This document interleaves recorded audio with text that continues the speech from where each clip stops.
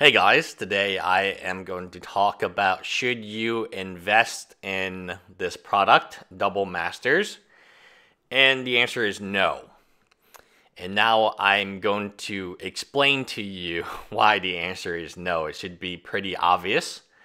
But Magic cards, I know a lot of you are, I mean, from the comments, it seems like you're very new to MTG Finance. And so I'll go over the very basics of selling boxes. Um, if you've never sold a box before, uh, try try selling a box. It doesn't matter what the box is. Just try selling the box. Um, you're going to find out that boxes, especially, are very scammable. Uh, meaning that when if you sold a sealed box to someone, they could open the product up, um, take all the rares and mythics, do a refund charge back on you, and you would be out the money, of course. Now, you could also do the reverse, right? You could send them a open product. Uh, I think Power 9 Quest uh, bought some Modern Horizons from Amazon, and that that happened to him. And the reason that you can get the refund is because that does happen. It's not unheard of for a seller to sell you packs that have been already opened or searched in some way, especially in Pokemon, when you can weigh the packs. Pretty obvious why that is the case. So let's talk um, about money um, and the lack of it in the U.S. economy. So I, I live in the U.S. I own a small business here in uh, Houston. Money is not ample right now. So once the extra $600 of unemployment ends a week, so if you are unemployed, you get $600 from the federal government a week, and then you get unemployment. Here in Texas, it would be about $400 a week. Um, so you would get $1,000 to do nothing. So if you've been sitting at home during the entire COVID, maybe for uh, what was COVID, March, March, April, June, July, and we're rolling into August. So if you've been sitting at home for five, four or five months, you've been receiving probably more money, unless you make more than $52,000 uh, most fast food workers, most retail workers don't make that money um, amount money. Um, the government has been, you know, from stimulus to PPP programs, um, they've been funneling money into the economy, which has then increased the price of Magic the Gathering cards. So that's the direct result. As soon as the first stimulus check hit, you saw Magic cards on a whole go up in price. Now, the question has to be asked is this a good set? And can this set stand the test of time? And I'm going to go ahead and say it cannot. Because it's. I guarantee you in a few years we have something called triple masters. And it will literally be the same reprints on double masters, but you'll just get an extra rare or mythic. Because that's what double masters is. Double Masters is a reprint of mystery booster packs, except instead of you know it's instead of getting the option of maybe getting two rares and mythics, you are guaranteed two rares and mythics, and there's foily cards and so on and so forth. So from a investment standpoint of single cards not on the reserve list, uh, do not do. It is a no go from here on out. So again, no go. And the reason should be pretty obvious. I mean, we will probably get a master set every year from now on. And if the standard is double master, you can't really go back to regular masters, right? Everyone's already on double. So you either continue double masters or you start triple masters, which is marketing 101. Like, let's say we had double masters, and next year we just had regular masters. That would not fly because people are used to double masters. Again, you cannot go back. So you can't have double masters and then go back to regular masters. You can either go to double master, keep double masters up, or go to triple masters. That's the way it is. I mean, there's no other way to really uh, say it um, except um,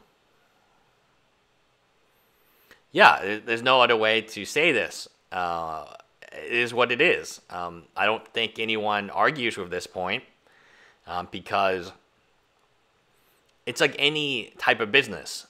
um, once a customer is used to a certain deal, you can't really go back on that deal because that would make no sense. You would you got to at least keep up the deal, if not a better deal.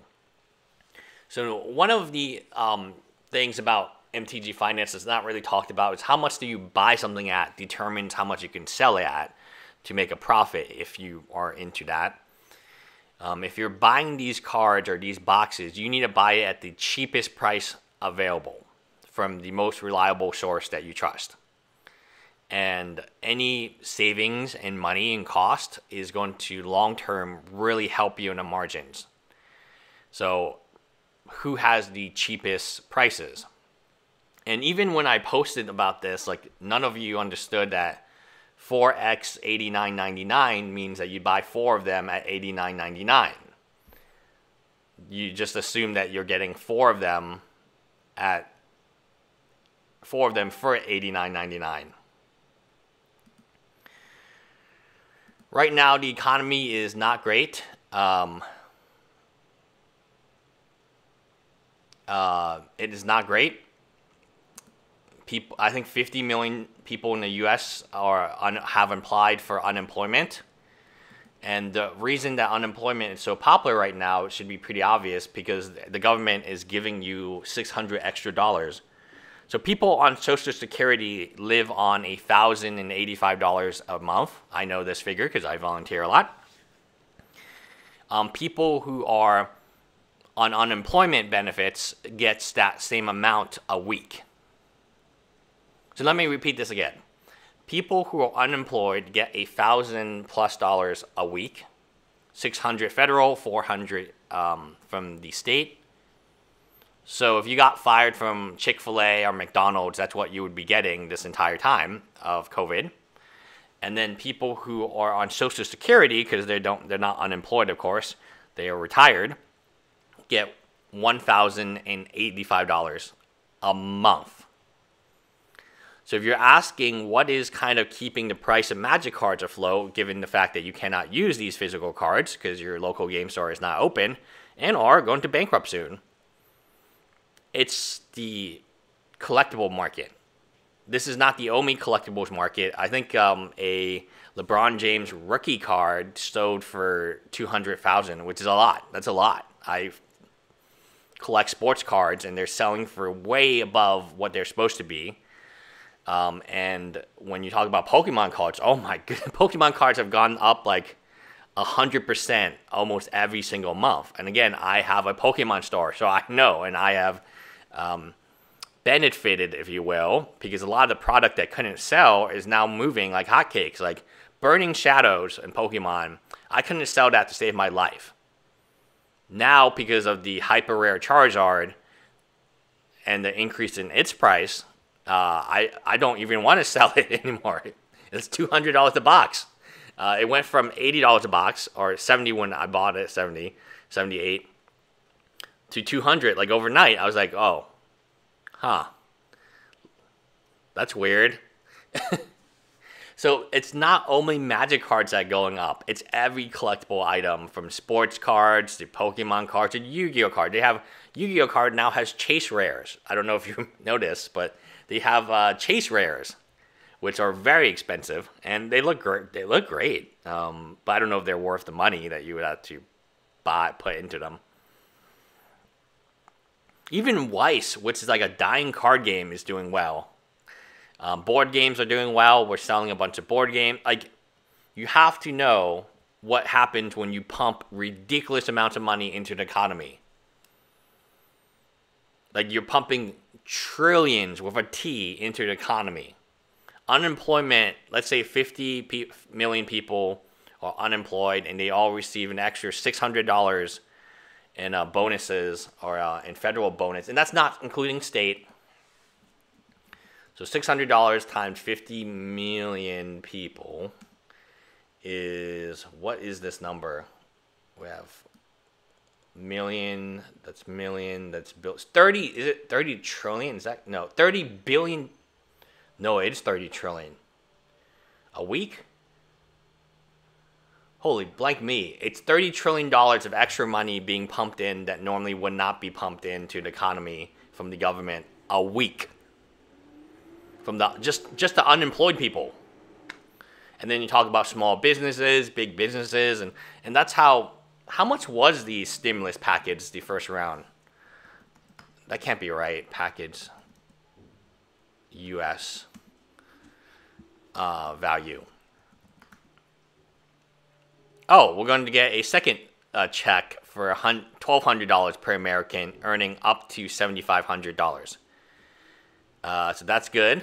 Um, 2.2 trillion U.S. stimulus package. Oh, another three trillion stimulus package on the line. But what was the total amount? That was like the extra little bonus amount. Um. Hmm. regardless, it looks like we're getting a uh, another twelve hundred dollar payment from the government. So, hey, just in time to buy double masters. Hi guys.